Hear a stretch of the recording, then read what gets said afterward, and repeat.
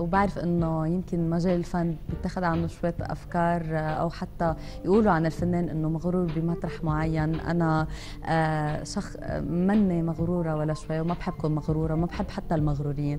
آه، بحب الناس كثير بحب كون قريبة منهم. هدول اختصار اللي صار بالحلقة. إن شاء الله تكونوا انبسطتوا معنا وأنا بحبكم كثير آه، إن شاء الله دائما تكون عم تحسن ظنكم. وبدي أقول thanks مره ثانية لكل آه، ال équipe الموجود آه، معنا اليوم ولكل اللي تعبوا. ميرسي لكاتشا مره ثانية هيدي هي الحلقة هيدي أنا و بس بحبكم كثير thank you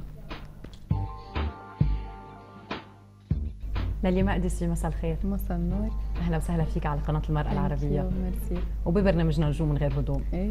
مرتاحة بالقعدة؟ أكيد. ريدي للمقابله اليوم؟ إيه حسب. حسب. هو الحسب أهم شيء لأنه مثل ما تعودوا المشاهدين وكل اللي بيتابعوا نجوم من غير هدوم خلال هالسنة ونص تقريبا على الهواء إنه ضيوفنا بيجوا مرتاحين. أول شيء مرتاحين بالقعدة مرتاحين نفسيا. ما بيكونوا محضرين للحلقة بس آه، مجرد ما نبلش الأسئلة والحوار أنا بسميه بحسوا حالهم مرتاحين فبنوصل للقلب وبتطلع حلقة من القلب للقلب. لا إن شاء الله بتطلع حلقة كثير عفوية. وبالنهاية رح تكون آه، عم عم بينحكى فيها كل شيء آه، على حقيقتها يعني. ف... أهم شيء. نكون صريحين ونحكي بعفويه نالي الوحيدة بالعائلة من البنات وحتى وحيدة الأخ خيك وحيد. مزبوط. هالوحده هي يمكن خليتك أقرب إلى والدتك تاخذيها كأم كصديقه تتواجد معك بالبيت وخارج البيت. يمكن هو سبب من الأسباب؟ آه إيه أكيد لأنه ما عندي أخت.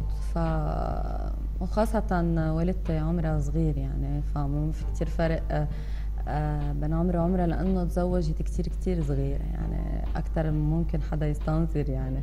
فعملتها فينا جابتني مشان هيك ما في فرق كثير بالعمر بيني بتحسيها بتفهمك؟ آه بكثير من الأوقات أكيد بضل في اختلاف بوجهات النظر بس أكيد قليلة يعني. آه بالنهايه كل انسان عنده أفكاره يعني بس كأم و كأم وبنتها يعني آه بتطلع هيك بلاقي إنه إيه أكيد في أفكار كثير قريبة بيني وبينها بتحسي علاقة مثالية بين ام وبنتها؟ آه إلى حد ما إيه إلى حد إلى حد كبير يعني إيه. رغم استقلاليتك نالي بشغلك وبأعمالك وباعتمادك على ذاتك وبجني الأموال يعني مصروفك وهيك ما استقليتي عن أهلك مثل بعض الفنانات بيستقلوا اداريا ومهنيا وعائليا يعني بضل على مساحة من أكيد. آه، عائلتهم ولكن نالي بعدها بالقرب من والدها والدتها وخيها آه شو السبب؟ أه بعتقد في كتير مثلي أه إذا استقلوا مهنيا ما بيستقلوا أكيد أه بعائلتهم. يعني في كتير أه بعدهم بيهتموا بوجود عائلتهم بحياتهم بشيء كتير كبير. خاصة أنا معودة لأنه أنا وحيدة يمكن. معودة على الجنج ببعض الأوقات. آه بغض النظر لا معودة على الجنج ببعض الأوقات. معودة إنه أتكل عليهم بكتير أشياء. آه أكيد القرار النهائي بيرجع لأنا شو حاسة يعني بس معودة أتكل عليهم كتير. آه وبحبهم لأنهم مش بس عائلتي ما بعتبرهم بس عائلتي يعني بعتبرهم قريبين مني. كان أم كان والدتي ولا والدي يعني. بتحس إني كمان صاروا عم بيعتمدوا على نالي صارت عمود أساسي بالبيت.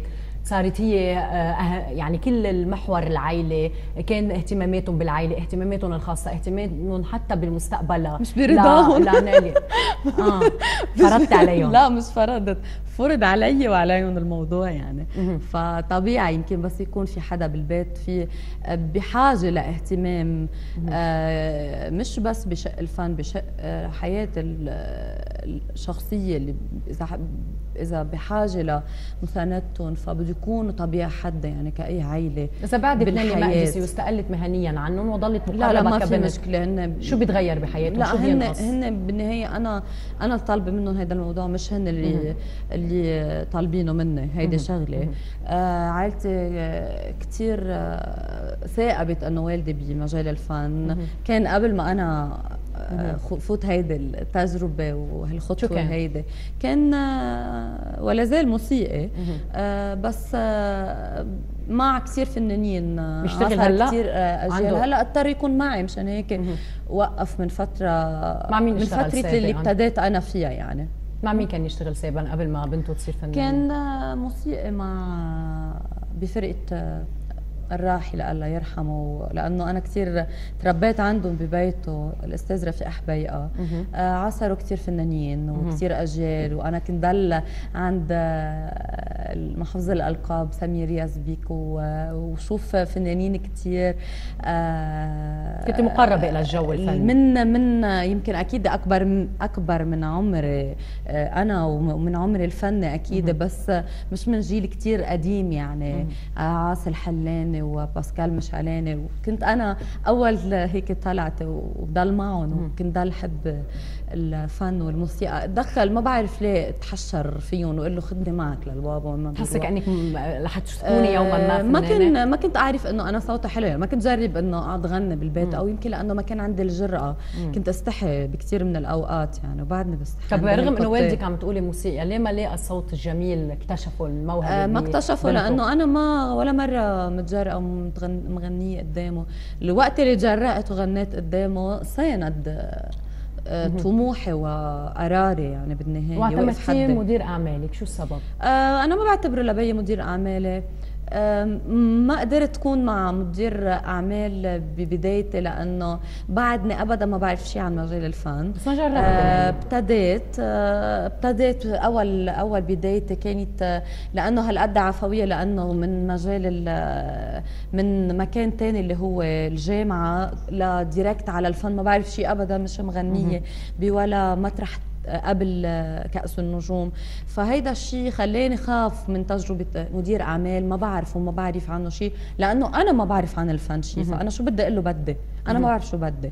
بس فمشان هيك كان حدي آه والدي بالبداية والبداية كانت فترة منيحة يعني كانت آه سنة. وقتها بلشت أحس إنه لازم يمكن يكون في عندي مدير أعمال more professional بإدارة الأعمال متخصص. بلشت أحس إنه آه لا خليني على اللي مزبوط بحبني من قلبه عم بيسعى ليكون آه ليكون عم بيعطيني كل شيء بكل صدق وبمحبه آه، مع احترامي لكل اللي جربت معهم. يعني كان في دائما آه إشياء ناقصة بلاقي كثير كثير بمطارح إشياء ناقصة.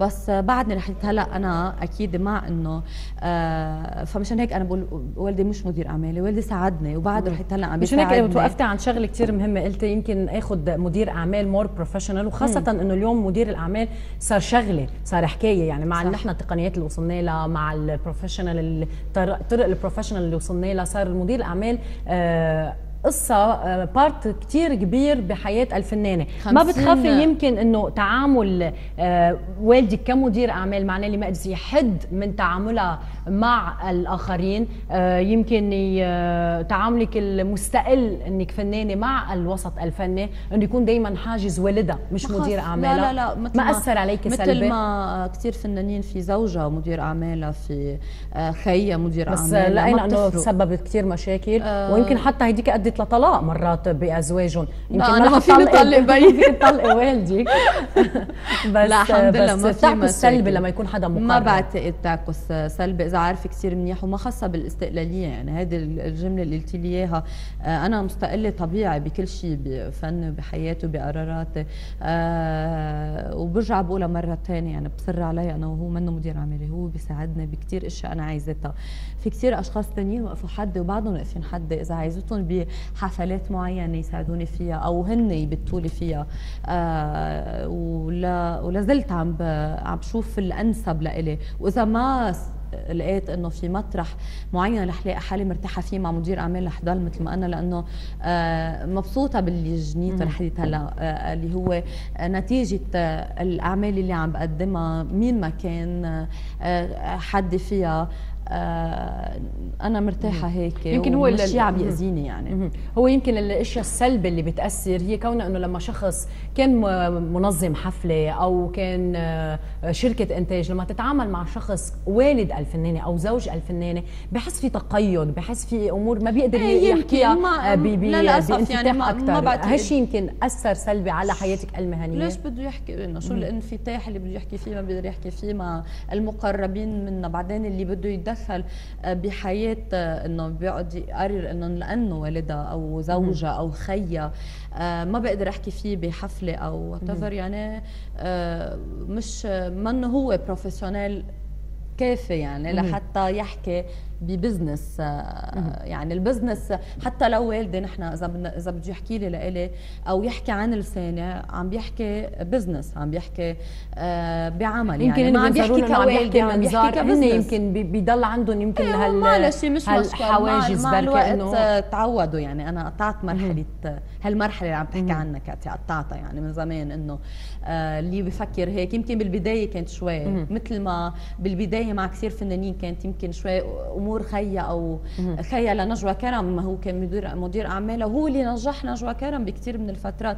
مش نجحها يعني هي يعني نجحها كفاية. هي هو اللي ساعد تتوصل لهالنجاح اللي هي وصلت له بقبل ونوال الزغبي وجود والدتك نالي بحياتك بتحسي إنه خليك تستغني عن وجود أصحاب بنات بحياتك؟ لا.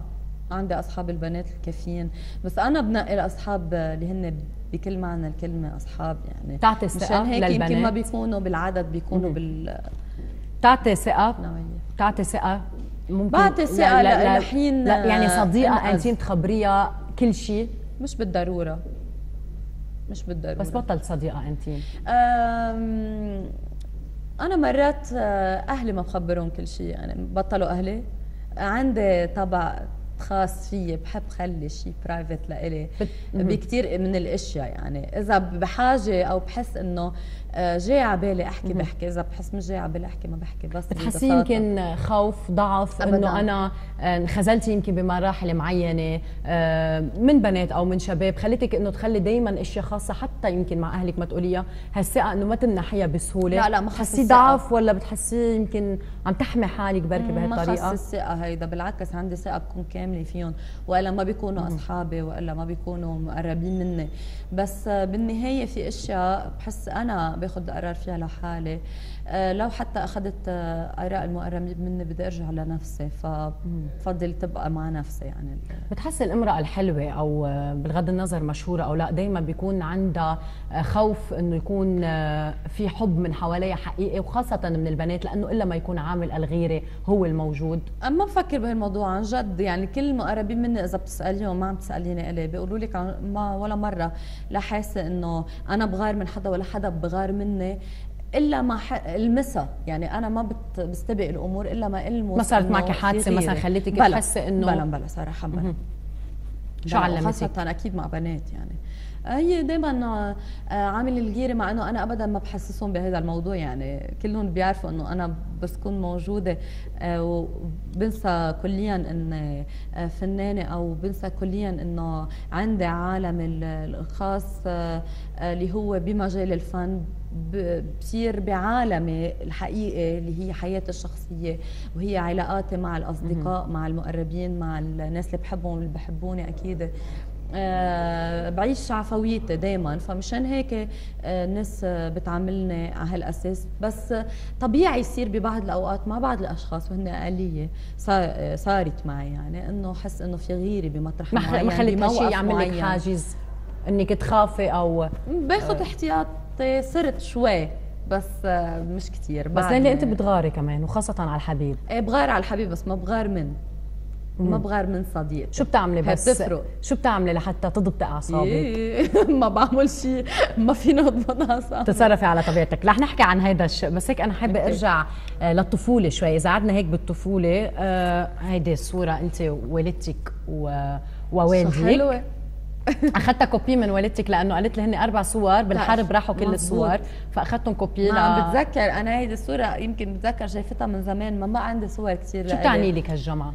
آه كل صوري أنا وصغار بيعنوا لي وخاصة أنا وأهلي لأنه هيك بتذكر بتطلع فيهم هيك بقول كيف كان موديلاتنا. شو بتحسوا كان ينقصك بس الجامعة هي أجمل شيء لما بتذكرك بطفولتك وبالأشياء اللي كانوا.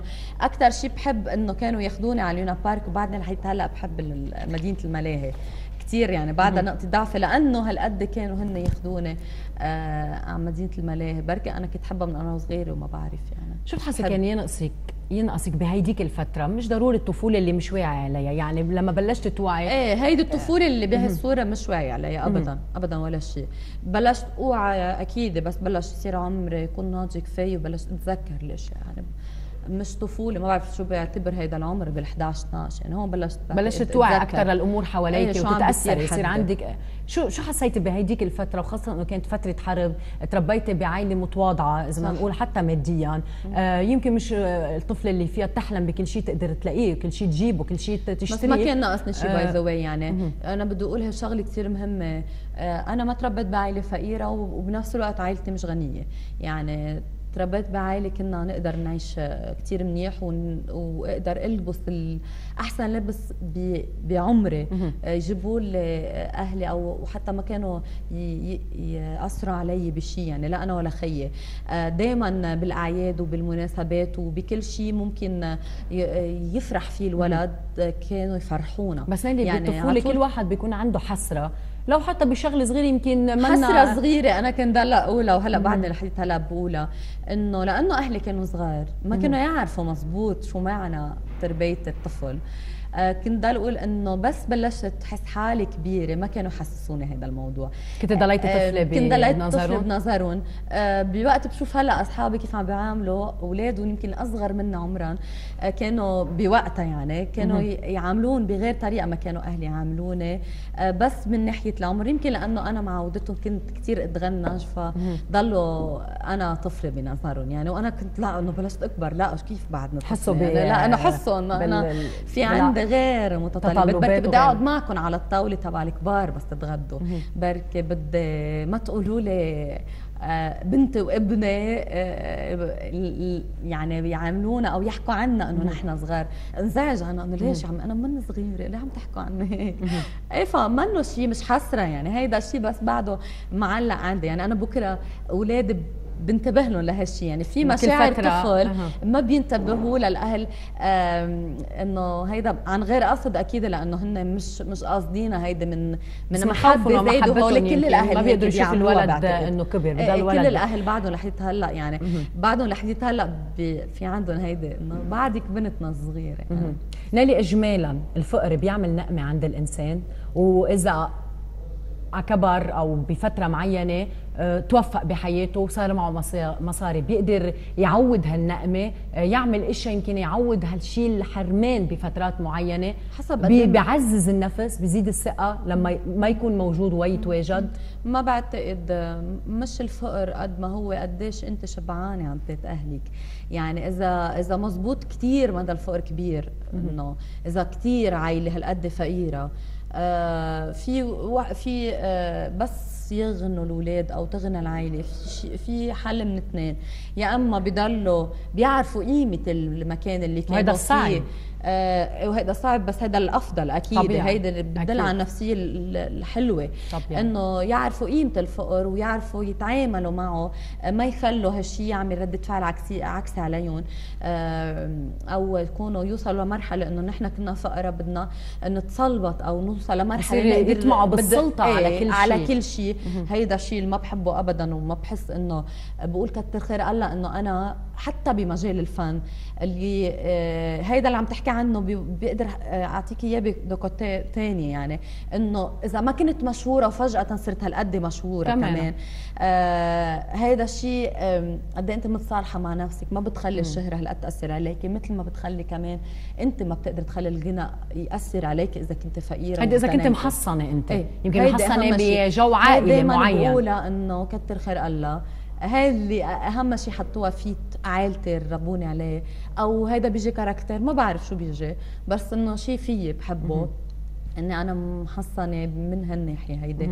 ما بتأثر إذا كنت ما معي أو إذا معي ماديا ولا حتى بتأثر إذا كنت لما كنت مش رح نحكي أصلا عن هيدي الفترة الشهرة ما قبل وما okay. بعد بس كما يقال لأنه دائما المصاري والسلطة بعززوا النفس وبحس إنسان إنه عنده القوة وممكن يكسب يكسب أصدقاء وناس حواليه أكثر رح نحكي عن هيدي النقطة بالذات okay. لأنه مهمة كثير وخاصة عند الأشخاص المشهورين ولكن بعد هالوقفة الإعلانية لدقائق مشاهدينا بنروح مع وقفة إعلانية وبنرجع لكم مع نيلي مقدسي